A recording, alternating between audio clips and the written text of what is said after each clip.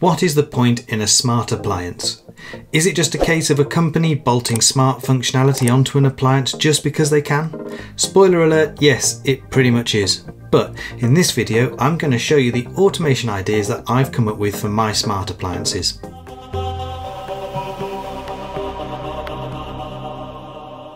I've recently replaced both my dishwasher and tumble dryer, and by a sort of coincidence, both replacement models happen to include smart connectivity features. Both devices are made by Bosch and they support the Home Connect smart platform, which is shared by Bosch, Siemens, and Neff. Some manufacturers offer smart functionality, but the advantage of Home Connect is that they provide a public API, which means you can integrate them very easily into Home Assistant.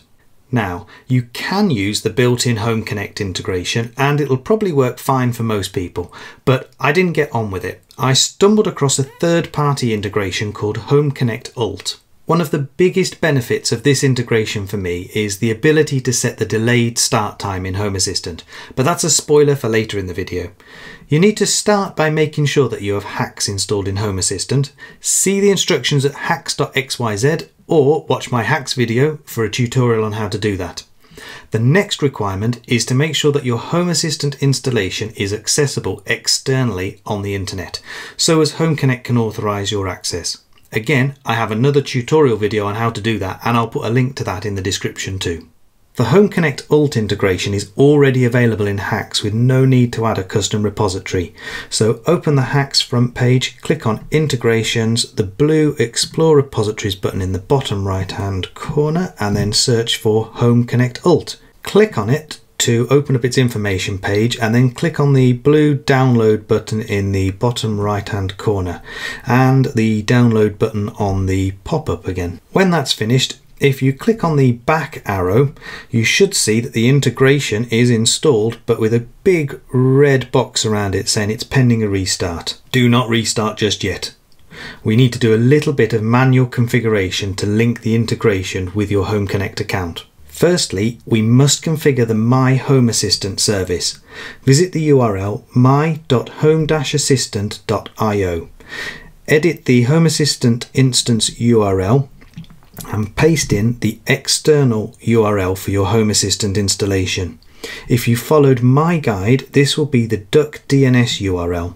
From this point on, you must use the same web browser on the same computer to configure everything. Next, we visit developer.home-connect.com and we sign up as a developer. You need to fill in your names, the user account name for your existing Home Connect account, which is the one you sign into the Home Connect app with.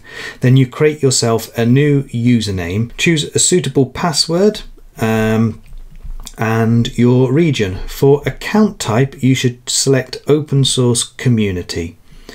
I'm already signed up, so I'm just going to sign in here. At the top of the page, choose applications and then click on register application. Type in something for the application ID. This is just a label, so you can call it something like Home Assistant. Leave the OAuth flow as authorization code grant flow. Then fill in your Home Connect app user account name again. Now comes the redirect URI. You need to paste in the exact URI that I have written here. This is a special redirect URL that uses the location we set up in the previous step when we configured My Home Assistant. Once you've filled everything in, scroll down and click on Save. You'll then be presented with a client ID and a client secret. Now this next bit is a critical step. Walk away from your computer for an hour. Totally walk away. The next steps might work straight away, they might not, but I really do suggest you just leave this whole thing for an hour to make sure that the IDs you've just set up activate properly. Have you waited an hour? Good. Carry on then. Back over in Home Assistant, you'll need to edit your configuration files. I suggest using the file editor add-on for simplicity. Uh, just open configuration.yaml and add the following lines. You then need to paste the client ID into the client ID section and the client secret into the client secret section. Save the configuration file And now you can restart Home Assistant by going to Developer Tools and Restart. Once back up, make sure that you are accessing your Home Assistant installation using the external URL. That's the same one you used in the My Home Assistant configuration. When you've triple checked that, go to Settings, Devices and Integrations, Add Integration, and choose Home Connect Alt. You'll be asked to open an external website, so click on that and choose Login with Home Connect and log in. You sign in using your username and password for the Home Connect app and click on Login. You'll be asked to approve the connection to the Home Connect developer program, and then Home Assistant will ask you to link the account. And if all went well, you should see a success message. Click on Finish to approve it. What can we do with this then? Well, I'm clutching at straws for useful automations here, but I think the one I have for my dishwasher is probably the most useful. On. Every evening, I have to schedule my dishwasher to run an eco cycle at half past midnight when my off peak tariff begins. That either involves pressing a series of buttons on the dishwasher itself, which might roughly get it to start at some point after the required time, or opening up the Home Connect app and choosing the right options. Both of these methods take a couple of minutes, but I've turned that whole process into an automation when I press a single physical button. That button doesn't have to be a physical IKEA shortcut one like the one I've used. It could be a boolean helper in Home Assistant that's controlled by an Alexa command if you wanted. Let's look at how it works. The automation is triggered by a press of the button or a long press of the button. A short press sets a variable called dishwasher mode to this value here, which is eco50. Uh, a long press actually sets the variable to intensive.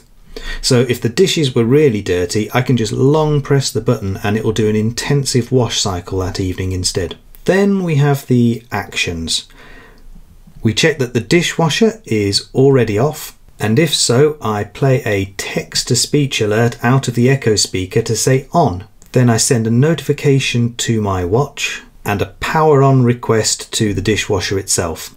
The next step is to wait for 5 seconds for the dishwasher to actually turn on and then we tell the dishwasher to start the required program when our off-peak energy rates kick in. A couple of things to note here. I have a date time helper which stores the off-peak energy rate start time.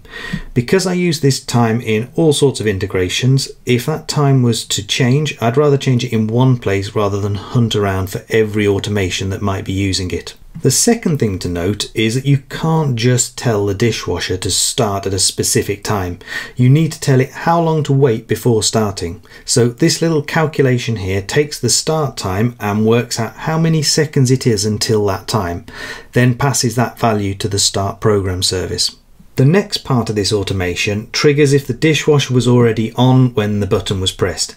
It sends some notifications, stops the current cycle, waits 30 seconds and then turns off the dishwasher. And now it's time to discuss the tumble dryer and there's not much you can talk about here. The only automation I've come up with so far is for it to announce out of the echoes whenever it has finished running. I'm not even going to walk you through that automation in this video, but I will put it up on the website if you're interested. Genuinely, if anyone has come up with any different and useful automations for their connected tumble dryer, then please let me know in the comments. I'm going to wrap this video up now. Uh, if you found this useful then please click on the like button and subscribe to my channel for more videos like this. Thank you for watching. Goodbye.